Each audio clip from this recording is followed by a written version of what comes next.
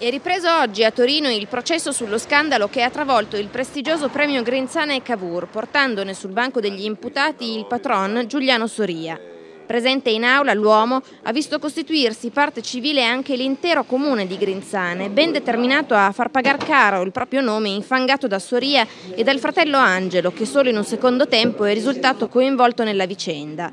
Soria ha chiesto oggi il patteggiamento della pena a tre anni e undici mesi che gli è stata inflitta in prima istanza.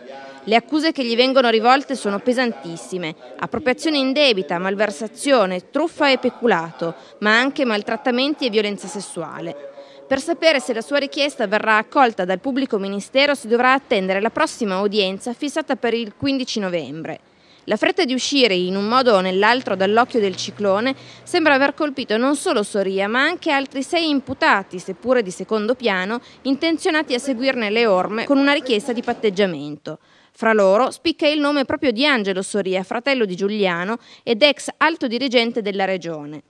Fra le parti civili costituitesi in sede processuale ci sono, oltre al comune di Grinzane, anche la regione, il comune di Costigliole e il premio Grinzane, che chiedono un risarcimento a Soria e soci per un totale di 4 milioni di euro, la stessa cifra che sembrerebbe essere letteralmente stata inghiottita dalla macchina organizzativa del Grinzane Cavour con Giuliano Soria a tenerne i comandi.